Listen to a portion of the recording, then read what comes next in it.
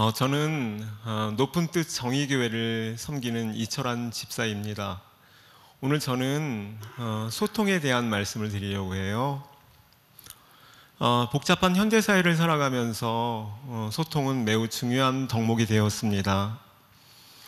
어, 소통을 통해 사람들은 행복감을 느끼기도 하고요. 때로는 불행을 느끼기도 합니다. 소통은 이렇게 중요한 덕목인데 가족들 간의 소통도 쉽지 않고 친구들 간의 소통도 쉽지 않고 어, 일터에서 만나는 직장 동료들과의 소통도 쉽지 않습니다. 저희 집도 거의 매일 밤 전쟁입니다. 소통이 잘 안 되는 거죠. 어, 오늘 강연에 어, 몇 장의 그림이 사용되는데요. 이 모든 그림은 제가 그린 그림이고요. 지금 보시는 그림은 어, 점으로 그려진 그림입니다. 지금 판다 한 마리가 산 능선에 앉아 피를 맞고 있습니다. 그의 모습이 쓸쓸해 보이시는지요? 왜 그는 쓸쓸함을 느끼고 있을까요?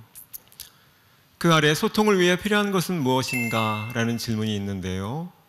이 질문에 앞서서 먼저 소통을 방해하는 최고의 적은 무엇인가? 라는 질문으로부터 시작해도 좋을 것 같습니다. 소통을 방해하는 최고의 적은 무엇일까요? 어쩌면 편견일지도 모릅니다. 편견의 사전적 의미는 한쪽으로 치우친 생각이라고 합니다. 한쪽으로 치우친 생각을 갖고 있으면 어, 못마땅한 게 많지요. 그래서 편견이 많은 사람들은 행복감이 그만큼 줄어든다고 하지요. 또한 편견이 많으면 많을수록 상상력과 창의력은 줄어든다고 합니다. 생각의 들로 가득 차 있으니 상상력과 창의력을 발휘할 수 없는 것이지요. 창의력은 같은 것을 다르게 바라보는 힘인데 자기만의 생각의 틀 속에 갇혀 있어 그것을 발휘할 힘이 없는 것이지요. 초등학교 시절 제가 겪었던 이야기 하나를 말씀드리겠습니다. 초등학교 저학년 때였는데요. 학교 교문이 열리더니 빨간 소방차 한 대가 운동장 한가운데로 들어왔습니다. 불조심 기간에 어, 포스터 그리기 대회입니다. 어린 시절 제 꿈이 화가였기 때문에 저는 상을 받고 싶었습니다. 그런데 문제가 생겼어요. 저희 어머니는 저에게 크레파스를 사줄 만한 형편이 못 됐습니다. 그래서 미술 시간만 되면 친구들에게 크레파스를 빌려 그림을 그릴 수 있었는데 그날은 친구들이 크레파스를 빌려주지 않았습니다. 왜냐하면 소방차 한 대를 다 그리려면 자기 쓰기에도 모자랄 것 같은 거지요.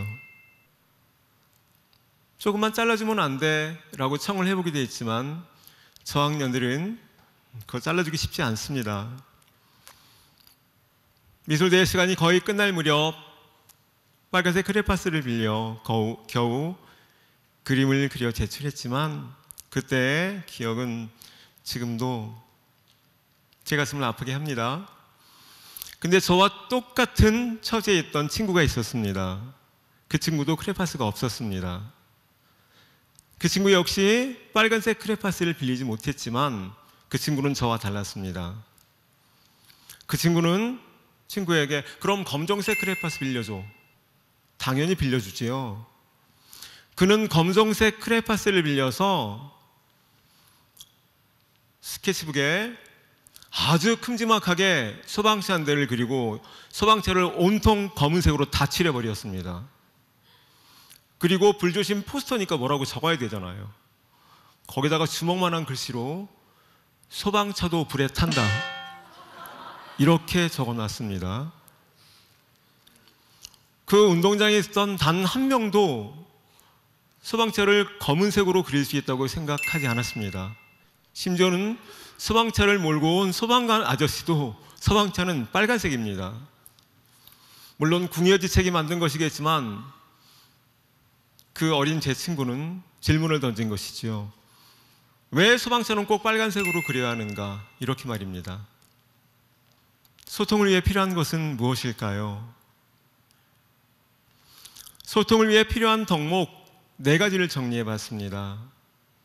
공감이 가실지 모르겠어요. 친절과 긍정적인 말, 유연한 생각과 진정성. 이것들은 소통을 위해 필요한 덕목이라고 저는 생각했습니다. 불친절한 사람이 다른 사람과의 소통을 잘할 수 있겠습니까? 입만 뻥끗하면 부정적인 말을 하는 사람이 다른 사람과 소통을 잘할 수 있겠습니까? 자기 생각의 틀에 갇혀 다른 사람을 인정해 주지 않는 유연하지 못한 생각을 하는 사람 또한 다른 사람과 소통하기가 쉽지 않을 것입니다. 진정성은 진실을 담는 그릇이지요. 진정성이 없을 때 어떻게 소통이 가능하겠습니까? 진심은 내가 보여주고 싶어도 쉽게 보여줄 수 없지만 내가 감추고 싶어도 감춰지지 않는다지요. 그렇다면 우리는 또 다른 질문을 해봐야겠습니다. 이 네 가지 덕목을 갖기 위해 무엇이 필요한지. 다시 말씀드리면, 친절과 긍정적인 말과 유연한 생각과 진정성, 이 네 가지 덕목을 갖기 위해서 어떤 것이 필요하냐는 얘기입니다. 저 물음에 대해서 굳은 결심이라고 말할 수 있을까요? 나는 친절한 사람이 될 거야 라고 굳게 결심하면 나는 정말 친절한 사람이 될 수 있을까요? 나는 긍정적인 말만 하는 사람이 될 거야 라고 굳게 결심하면 나는 정말 긍정적인 말만 할 수 있는 사람이 될 수 있을까요? 생각보다 쉽지 않을 것입니다. 친절이든 긍정적인 말이든 유연한 생각이든 진정성이든 그것은 마음 깊은 곳에서 우러나올 때 다른 사람에게 감동을 줄 수 있겠지요. 굳은 결심으로 얻어진 친절은 보여줄 수는 있지만 다른 사람의 마음 속에 진심으로 전달되기는 어려울 것 같습니다. 그렇다면 이렇게 말할 수도 있겠습니다. 내가 나 자신을 정성껏 돌보아 행복감을 느낄 때, 내가 행복할 때, 친절은 내 마음 깊은 곳에서 자발적으로 나오는 것이지요.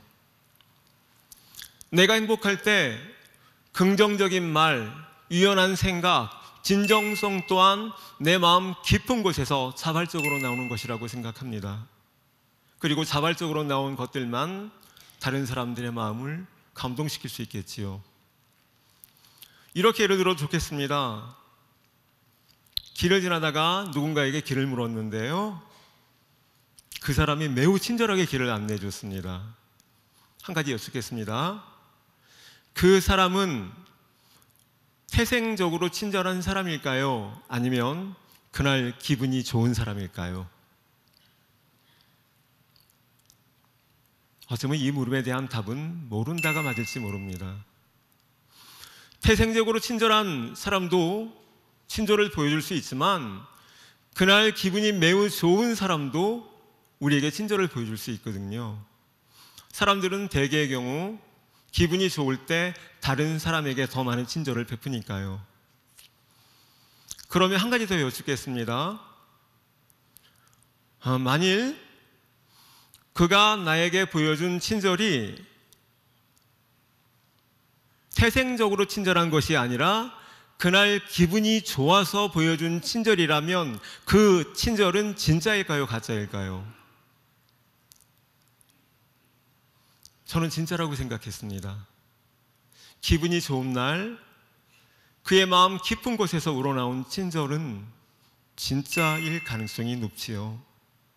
지하철 칸에서요, 아이의 울음소리를 들었을 때, 아이가 몹시 크게 울 때 그날 기분에 따라서 그 아이의 웃음은 우리에게 다르게 받아, 받아들여지거든요. 기분 좋은 날은 그 아이가 그렇게 귀여워 보이죠.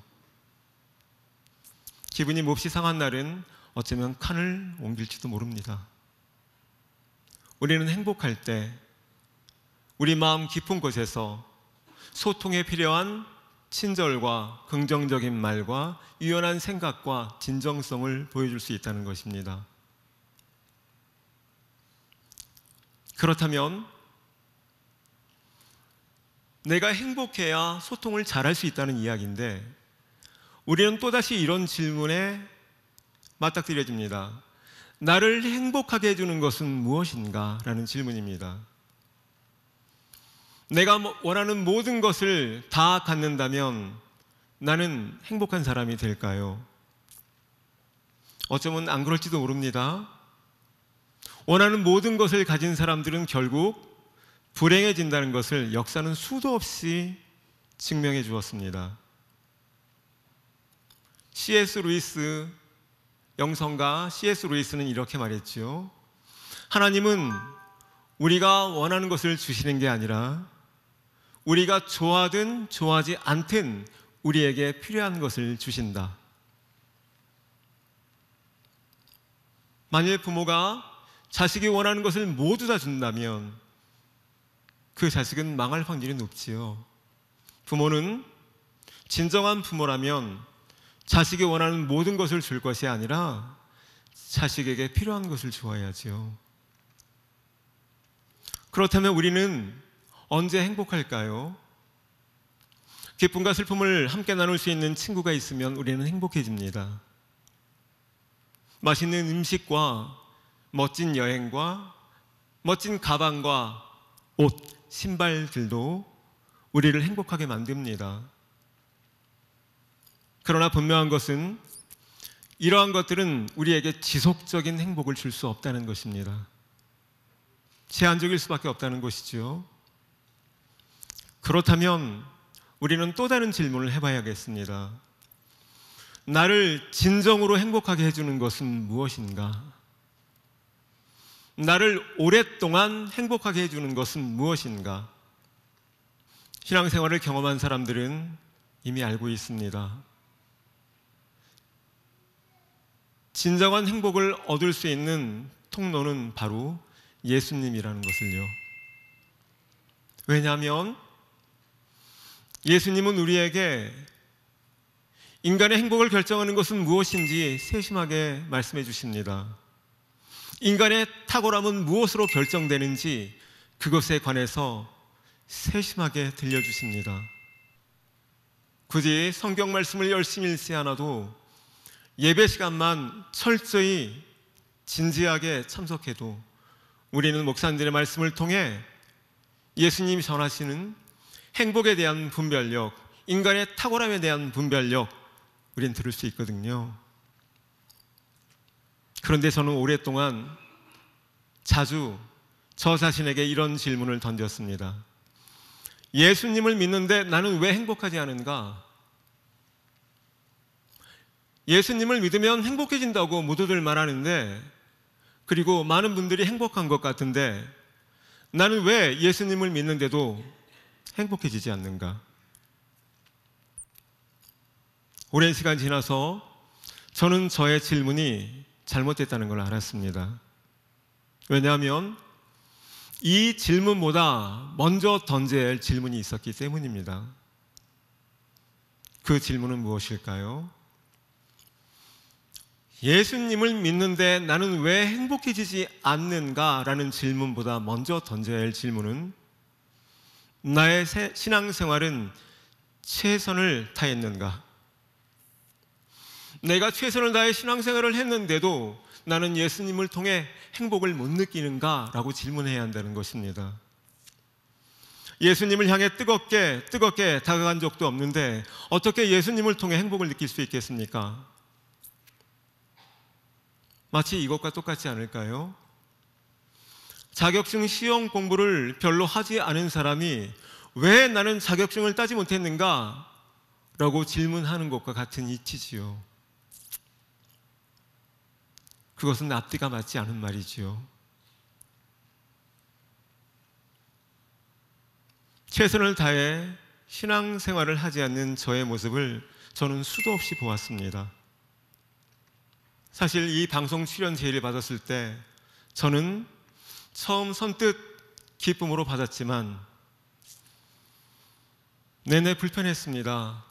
그 당시 저의 신앙은 분명 슬럼프였거든요. 그래서 어느 날 담당 작가님께 전화를 드렸습니다. 아무래도 못할 것 같습니다.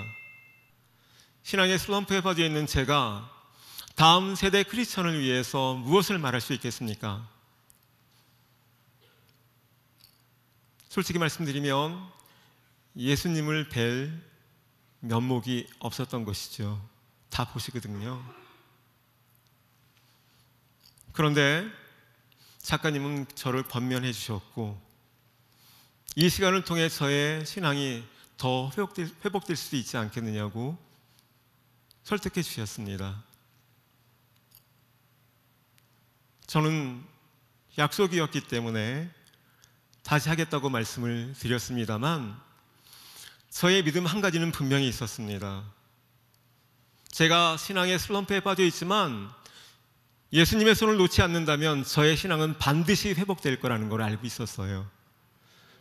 다만 그 시간이 언제인지 몰랐기 때문에 이 시간을 망설였던 것이지요. 예수님을 믿는 사람들은 자신을 기다려 줄 수 있습니다.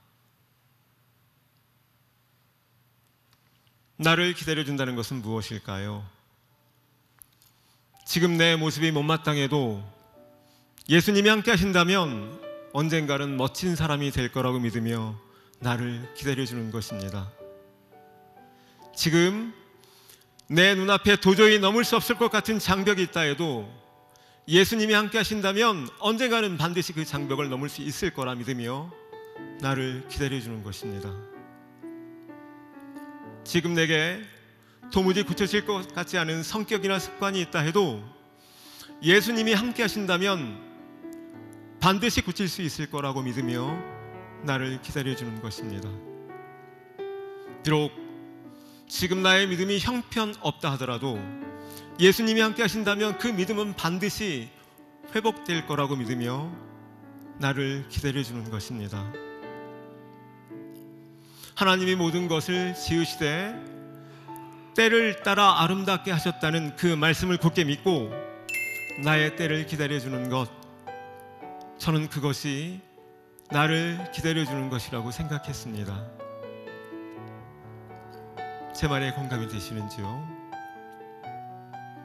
마지막으로 제가 사모하는 말씀을 드리고 저의 이야기를 맺을까 합니다. 전도서 3장 11절 말씀입니다.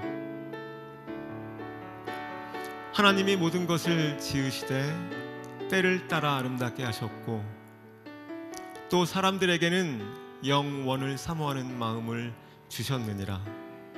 그러나 하나님 하시는 일의 시종을 사람으로 측량할 수 없게 하셨도다. 아멘.